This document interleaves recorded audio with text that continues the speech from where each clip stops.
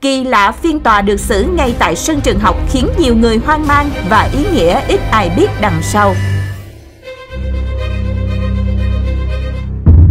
Mới đây trên TikTok, mọi người đang rầm rộ chia sẻ đoạn clip ghi lại cảnh phiên tòa xét xử khiến nhiều người cảm thấy vô cùng bất ngờ khi địa điểm tổ chức không phải ở tòa án mà là ngay tại sân trường học.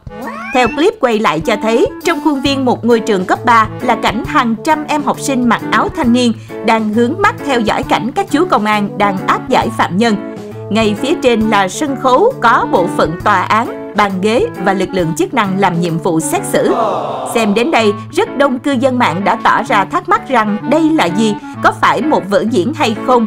Vì việc xét xử thường chỉ thấy xuất hiện tại tòa án, làm gì có chuyện ở trường học như thế này.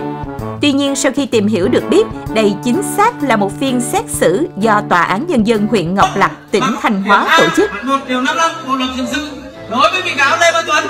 Tuyên bố Lê Văn Tuấn phạm tội cướp tài sản và tội cố ý gây thương tích.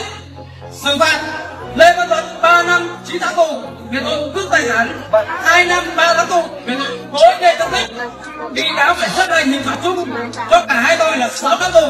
Thời gian và hành tính từ ngày 13 tháng 10 năm 2023 Nếu để ý kỹ có thể nhìn thấy đây là phiên tòa lưu động được tổ chức công khai tại trường học nhằm mục đích răng đe tội phạm, ngoài ra còn tạo sự công bằng, niềm tin vào pháp luật.